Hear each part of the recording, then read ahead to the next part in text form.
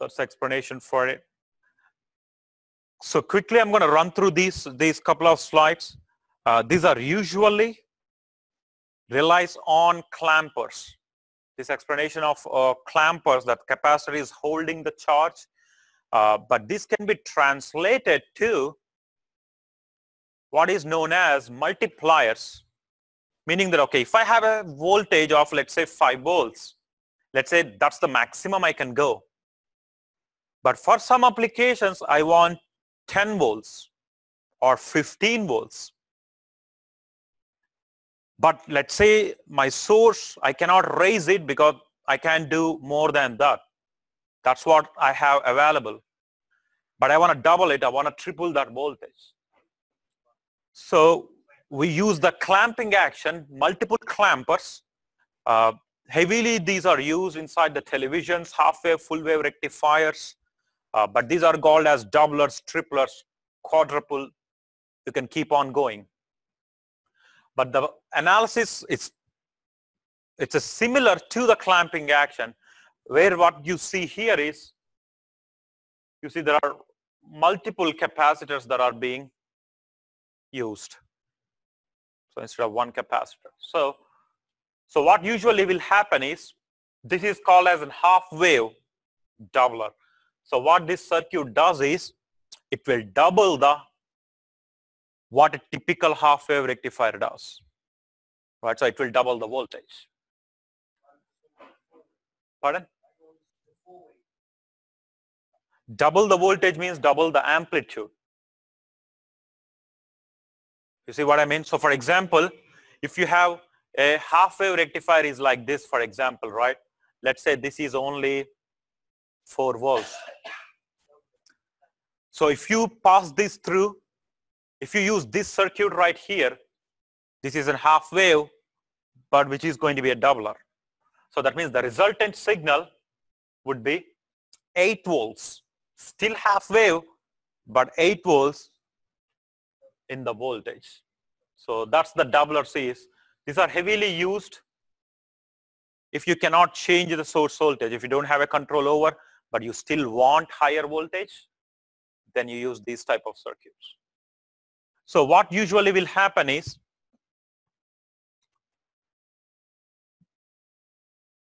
during the when the input signal is coming positive, you can tell the D1 is forward bias, correct? So let's say the input is positive cycle. So D1 will be forward, but D2 will be reverse, correct?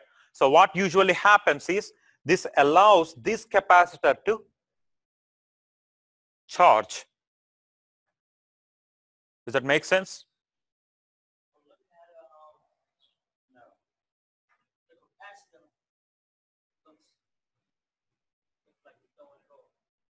What?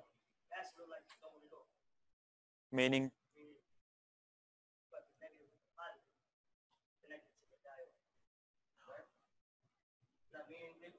No, no. Okay, so that D one is, is got a point 0.7 drop, the other one's open, so the current is going C one. So the current is, is exactly showing in this direction. There is no current enters this way because it's open. So we don't even talking about this side. So once the diode is allowing the current, then the charging direction would be. So capacitor will charges all the way to whatever the voltage minus 0.7.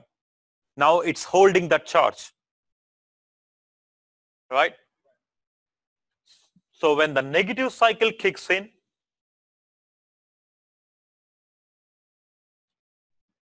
So when the negative cycle kicks in, the D1 will be reverse bias, correct? But the D2 will be forward bias that will allow the C2 to charge. But the collective voltage, so as long as this D2 forward bias that meaning that this capacitor is already holding the charge before, correct? So now this capacitor has a path to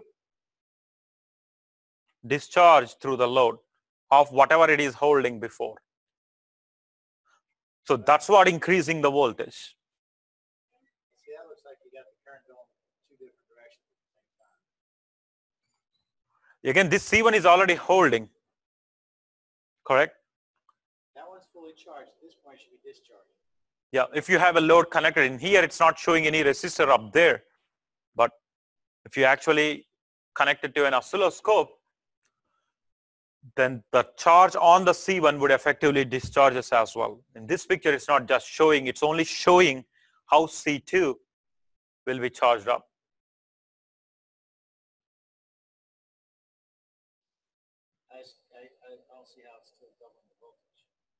Because it's a collective voltage between C1 and C2. Yeah, because the first time it charges two, and it gets pumped in, or increased to C one, and then the second negative will charge C one again. And then the next time it'll come around, C two is already gonna be charged, so. Because remember, we're only talking about, this is half wave, correct? Uh, this is only half wave. Yeah, okay.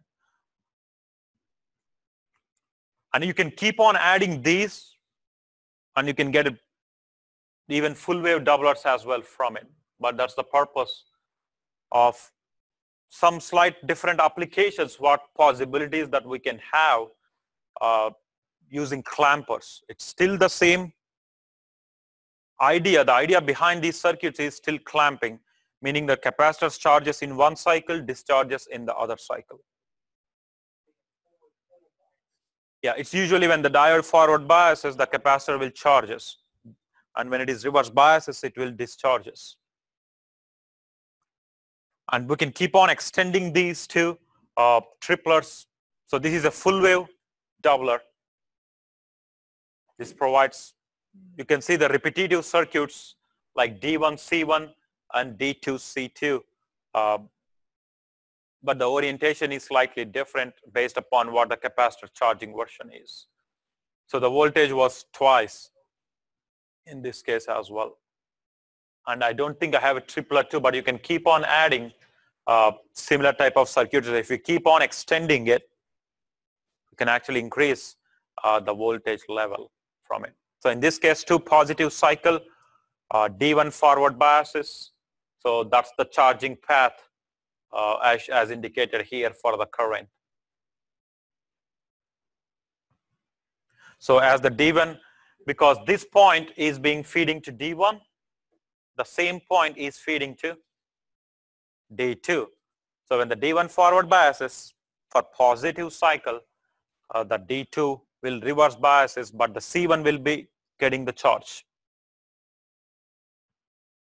On the negative cycle,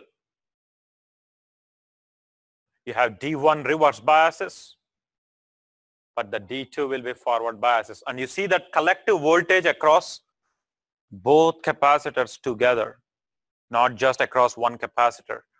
Uh, so you see the 2 volts peak that I'm getting is not on one capacitor, but across both capacitors. So each cycle capacitor charges and you collective across both of the capacitors together uh, so that's usually double the charge. So if you put one of the same circuit down with another capacitor, you may increase the required voltage too. Yep. For one half cycle, the C1 charges. For the other, C2 charges. And you collect across both of them together.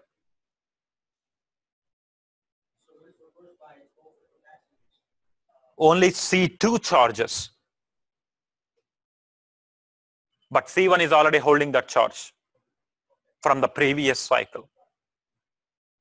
And you just collect across. So if you have a resistor, you put it across both of the capacitors. That's where you will see the collective voltage. Resistor is parallel between those two points, between beginning of C1 and ending of C2. It's parallel to that branch. But if you put parallel to just one cap, then whatever that one capacitor is holding, that's what you're going to get out. It's like a traditional rectifiers. It's gonna be only every second one. That is true.